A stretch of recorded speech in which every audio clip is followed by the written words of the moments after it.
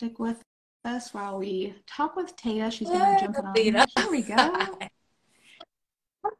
I'm, I'm How are well, you? Thank you. I am recovering from a little cold, so I'm less cloggy today, which I'm really grateful for. yes. Yes. Yes. You are going to be 100% healthy by the end of today. Jesus in Jesus' name. Amen. We'll take it. I am doing amazing. Actually, I'm really excited to talk with you today. Um, okay, what do you call it? Gas bagger? I knew is that, that what you I call yourself? And then I realized this is an Australian term. So we were in Lincoln, Nebraska together on Sunday night, currently on tour with Mercy Me and loving it, getting to tour um, this new record and just it's been such the the joy of my of my life in this season. Um, one of the joys of my life. Jesus, Ben, getting to do this for sure. um, but it was so funny because the time just goes so quickly for me because if I start talking at all, um, even if you know it, it's about the Bible or something, I get so excited, and then the time just like ticks away. And I said, "I'm so sorry, we've only got two songs left. I'm such a gas bagger," and then I've said it like maybe two other times on this tour, and I realize every time that's an Australian term. It's not an American term, and people probably think I have flatulence. So I just want to, I would just like to clear the record. I do not have flatulence.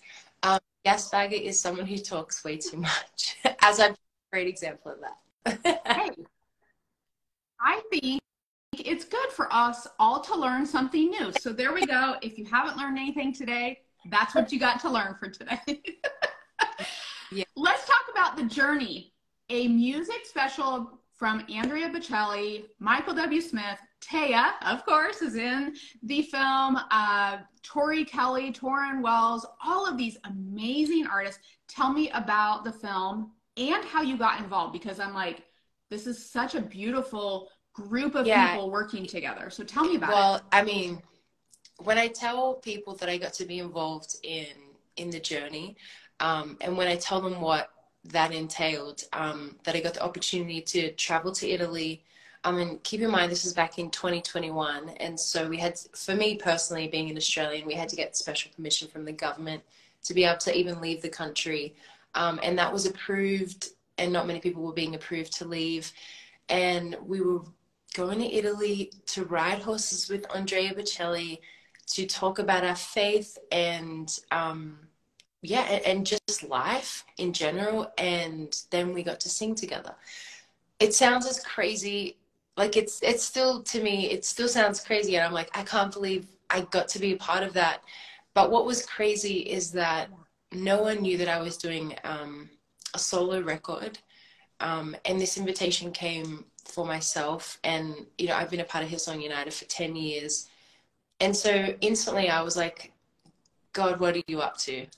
Because this is, you know, um, something out of the ordinary. And I hadn't really told, I thought no pressure was good pressure for me when making this record. So I was just making it, you know, during 2020, all the world was locked down. I was learning how to write and co write on Zoom. And so like I I'm like how do people even know? Like I don't understand what you're doing but it was actually through getting to be a part of this project that for me personally going to Italy and just I think being open to perhaps what God was wanting to do um in it through my life. And I'm someone who was really comfortable with you know I was under the umbrella of United and under our church and just really comfortable with that. And I'm not like a CEO type. I'm more like a worker bee and I'll work so incredibly hard. Um, but I'm not really the vision caster type person. And I believe that God, for me, with this whole journey, um, He was taking me on one Himself and He was lifting the horizon and He was also lifting my eyes at the same time and saying, um, if I've called you to this, you don't need to freak out and stress out. Like, I'll grace you for this. Um, and you've always, I've always just said yes to God, and I've really never known what it's going to look like or what the plan is, um, which is kind of what we all really, when we're following Jesus, it, that's what it is. It's a life of faith, and we walk by faith and not by sight. And just to be up for whatever this would mean. and the funny thing is, um, because it's almost been two years, it will be two years in April since, you know, kind of the filming of this started happening in Italy. And um, there was a moment where I was like, Lord, because so much of my life changed because of that trip, I came back over before going back to Australia into lockdown and into hotel quarantine because we did things a little differently over there with COVID. Um, I got to go to Nashville and I wrote six eighths of the record in three weeks, and then in four days I fin- I recorded six eighths of those songs, which is crazy and not what a vocalist would uh, desire to do. You'd want like some more time, and but God was kind and He mm-hmm. graced me for it, and so I would never have finished the record, and I wouldn't have got you know half of these songs that you know that I get to sing on tour right now if I hadn't been been a part of this and God spoke to my heart whilst I was in America after being in Italy, and my husband and I, um, we felt to move to America, which is such a crazy thing to say, um, because we're Australian and we love Australia, and my husband's even more Australian than I am, and never thought it like we would ever leave. And it was on that same trip that we just felt the Lord's like America, and then, you know, we go back to Australia fasting, praying, and just like how do we tell people that and it wasn't necessarily like asking permission even though i had a job in australia at the time it was like we have to be obedient we feel like this is what god's calling us to do and we hope that you give out give your blessing but also like i have to be obedient to what i feel prompted to do. And somehow god gave us that blessing um, and that favor. And we've been here for a year now. Just yeah it's crazy. And then I mean, I'll just give you the full thing. And then that same week when I was in Nashville, um, a very, very generous couple, um, I just happened to see them. They were involved, you know, through TBN, um, very involved. Um, and that, that's the production company behind the journey as well. And um, some of my dear friends, and I've known them for quite a few few years. Uh, we did another movie together, and what was crazy is that I saw them in church, and because they were like family, I just said to them, apparently we're moving to America. And I hadn't even told any family. And they looked at me. I got pulled to one conversation. I came back and they said, We've got a house in Orange County, six months rent free. It's yours if you walk into off the plane. And instantly I was like, Well, firstly, I just hopefully say this as an encouragement to people who are, to the ladies that are listening on, and maybe there's some guys as well, but um, if God calls you to something, He doesn't just say, I'm going to call you to this and I'm going to walk away and I'm going to give you a score at the end of it to see how you go. But He will enable you and He will grace you for it. And we serve a God who, you know, He's the creator of the heavens and the earth. And so often we minimize Him to, oh, He doesn't care about the details. He doesn't, you know, but we have all these scriptures in like Matthew 6 where it says, um, look at the birds of the air. They don't gather and they don't sow and they don't reap, yet they have, you know, a, a place to lay their head and and they have enough food. How much more? And I've been meditating on the much more. How much more do I, your heavenly Father, know what you need? And and it was and it's uncomfortable generosity and it's you know yeah it's just it's the most beautiful house i've ever lived in and got to have my parents there at the end of last year and just God's kind because He sees everything. And um, yeah, we walk by faith by sight, and by the grace of God, we're still in that that place, and it got extended. And um, it was a challenge as well because, again, it's uncomfortable when you're in that place of um, dependence on God and its crazy generosity. And they said, "But do you believe that you're being obedient to the voice of the Lord?" And I said, yes and and ben my husband was having the conversation he's like yes we we actually believe that this is the god thing and we're trying to be obedient to that and as soon as he says that's it like we're happy to pack up and go home said but we believe we're being obedient he said well you should be expecting this kind of stuff because is this not the god that we serve amen i love that so much Taya, you have had a crazy ride for two years, and I am so thankful. I mean, what a testimony of just being faithful to God, even when you don't know exactly how it's all going to play out, you don't know how it's all going to look. And now now you can say in hindsight look at what happened in the last two years and it's beautiful. And really the journey this the journey the film that we're talking about this music special is was kind of the beginning sounds like kind of the beginning and now it's like coming to full circle of look at what happened two years ago and now it is finally coming out for everyone to see. You're on tour you have a new album you have a film. I mean how beautiful. Okay, I also want to ask you how beautiful, how amazing was it to be recording with all of those stars, including yourself, and in such a beautiful location. Tell I me about that experience. So the whole, the whole preface of the journey is that we get to journey along the Via Francigena, which was this beautiful old road that um, people would journey along to get to the Holy Land back in the day and so it started in Vatican City. Um, and Andrea, he's a devout Catholic, a man of deep faith, and he had this beautiful moment with Pope Francis and his wife. Um, they then they blessed the journey, and then they started on this journey. And it was at just different connecting points that different people would meet them on the road. And um, I mean, I definitely was. Thank goodness he's an amazing horseman because I was like, I don't really know. Like I had a couple lessons to make sure that I was like okay, but I was like I don't one responsible for leading Andrea astray on a horse, you know. Um, but also like you know a place where um, Italy is just thick with culture. Like it has such a rich culture, such a rich heritage, such an amazing background. So even just getting to be there and just like soaking all of that up and eating the most amazing food and um, it's also just the most visually stunning place. Um, and and I'd heard that, but I just being there, riding on these horses, looking out. I've never seen so many rolling hills back to back in my entire life. And so I just think, mm. from what I've seen, because I haven't seen it yet, because I want to sit in the movie cinemas and get into it. No, you, you haven't seen it.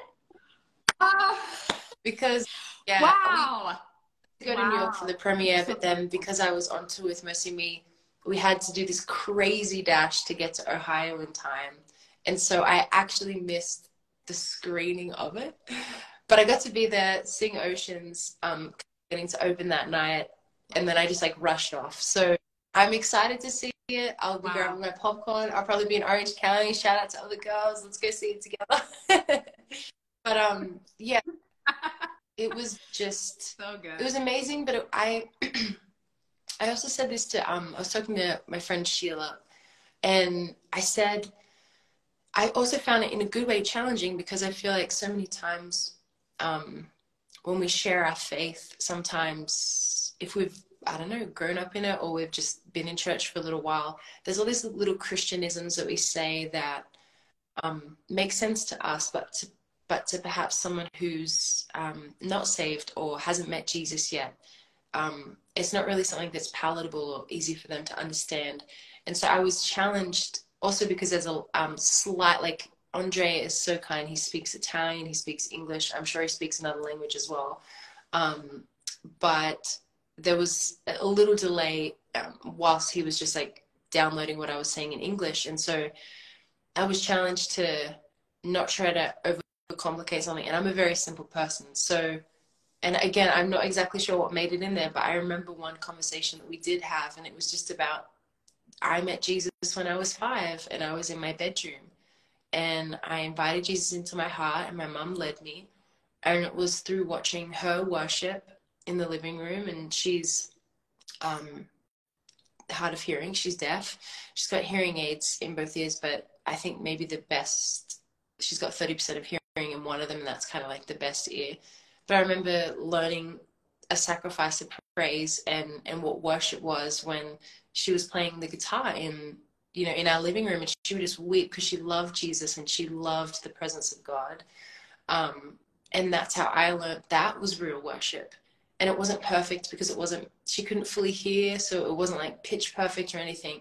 But it was beautiful because it was from the heart and was something that she was like, I'm not going to stop worshiping Jesus just because I can't hear the exact notes, but he's worthy, beautiful. And so I just remember, yeah, f- being so excited to get to be there, but also trying to make sure that um, I don't know. Sometimes it's a good challenge to like if you had a friend that has never been to church, how would you explain Jesus to them? How would you share about this person that has transformed your life and changed your life and changed your habits and what you do and the things that you think are important? Um, how how do you share that in a palatable way that's not shoving the Bible down someone's throat, but being like Jesus, you know, having meals with people, walking around your everyday life. Um, is is he is it broken bread and pork? Yeah.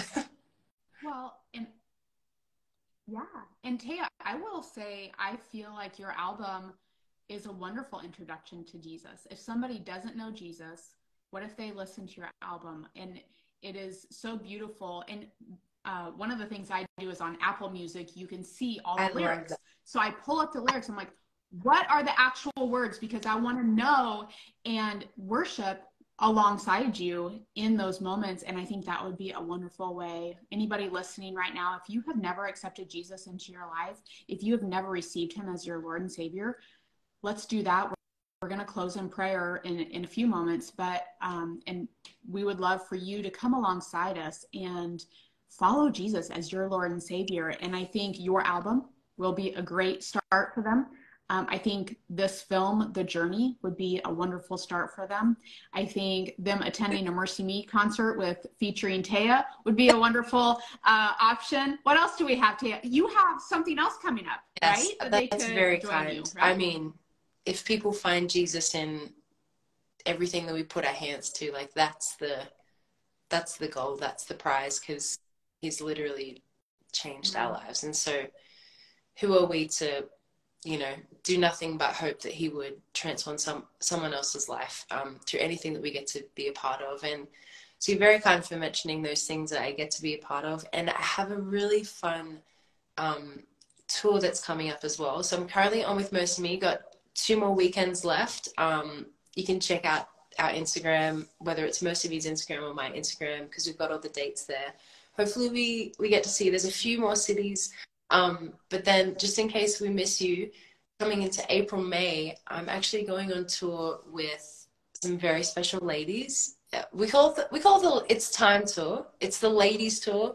it's with tasha cobbs leonard Naomi Raine, Natalie Grant, myself. Then we've also got Tamela Mann, and we've also got Katie Torwalt as well. Um, and I, I have a feeling it's the first time that a whole bunch of girls have gone on tour together and we're just being super prayerful and expectant about what it is that God would want to do in and through each one of us. And it's amazing because I think it's a, a picture of the body of Christ. You know, we are all different. We come from different walks of life and even different genres of music. Um, but we have the one person that unifies all of us, just like when we come together at a at a church or, you know, um, the one thing that unifies us is Jesus. And when we get to lift up his name, and also I'm, I can't wait for all the harmonies. I'm just going to say that. like these, they're amazing singers. Sometimes when we're just like all hanging out and we did some covers of each other's songs and I was going last, thank goodness. I was like, see you guys, like you guys leave the building. I'll just do this one here. But I'm listening to them, I'm like, this so good. And it's so beautiful and pleasant when someone um, you know knows how to wield their their instrument for the Lord and with excellence. And yeah, the singer in me just like leaps for joy at that. So I'm just excited. It's gonna be so gonna be hilarious. It's gonna be there's gonna be light and shade and just all. are those are the dates and locations out and available yet for that? They are okay. Yes, they can find them yes, on your Instagram yes. as well. Yeah, if okay. you head to um, it. it's time official. We've even got an Instagram account just to be able to like direct people to where where the venues are and the dates and everything. So there's a lot there. Yes, I love it. And what was um, the it's, Instagram it's handle on time that? official, and I'm pretty sure it's it's dot time dot official. But if you time official, you'll be able it. to find that, and it's on my page as well. So yeah. Okay, perfect. I have one last question for you. In the film, in the journey, there is a lot of talk about hope. So, how would you define hope? Because we can define hope in worldly ways and we can define hope through a lens of faith. So, when you think about hope, um, you've mentioned hope a couple times as we've been talking. How would you define hope in through the lens of faith for anyone who doesn't feel like they have a lot of hope? Maybe they feel hopeless or desperate to find hope.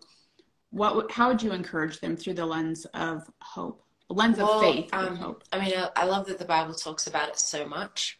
Um, that hope is the anchor of the soul, the thing that will, you know, an anchor is something that holds a massive boat um, steady and connected to the ground. So even if there's like some waves, like it might move a little bit, but actually it's not, it's not being moved um, from that one anchored point. And I believe that Jesus is the hope of the world.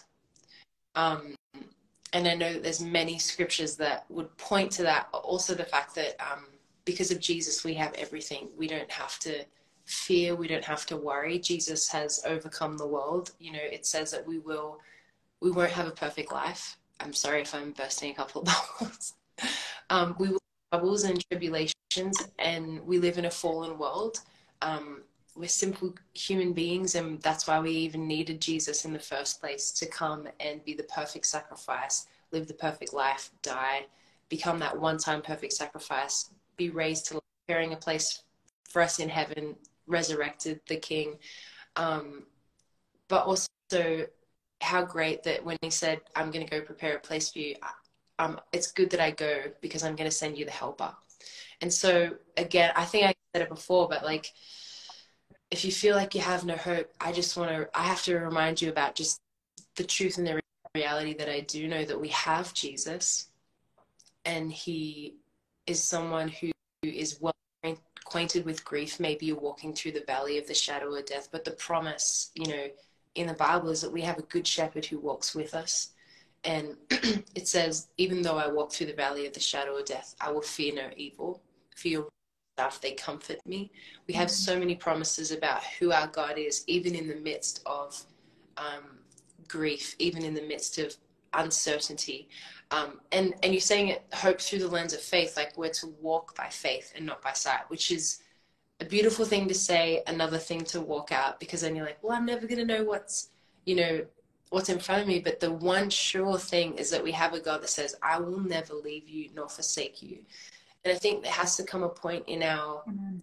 Christianity, in our personal walk with Jesus, where um, we either believe the Bible is the truth or we just think that it's lovely words. But we believe, you know, it, it says that the Bible is living, active, sharper than a two edged sword.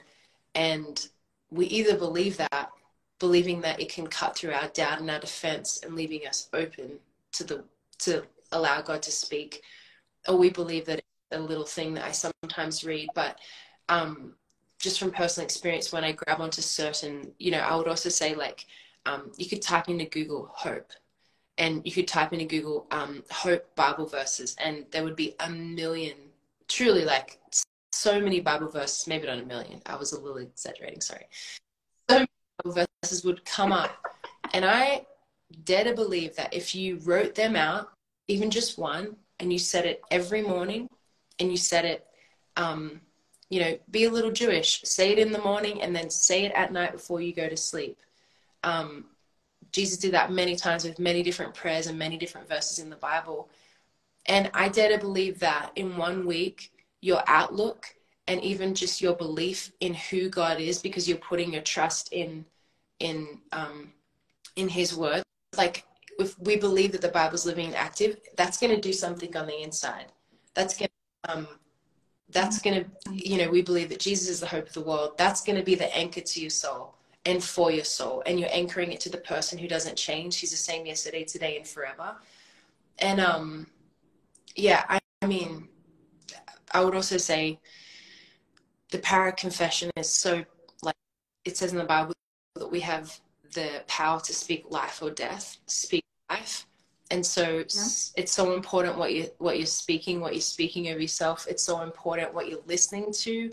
Um, and I mean, I just also want to say this: like, I grew up in Australia. I grew up Um, I didn't have Christian radio, so I was, you know, I listened to the Beatles, I listened to Fleetwood Mac, and and I think God can meet you in any scenario, especially considering that classical music was um, Christian music back in the day, but no one talks about it that way these days. Um, but I would also say, in particular seasons, if you, there's if you're in a season where you aren't feeling hopeful, and you actually need to believe that there is a hope the um, you know that God has a plan for your life, which He says all throughout the Bible that He does, and it's planned for good, and and to prosper you and not to harm you. Um, I would say be careful of the things that you are listening to. Maybe putting on Christian music just just for that week or for that month in that time that you feel heavy. Um, the Lord also says in the Bible that for a spirit of heaviness, He will give us an exchange, a garment of praise.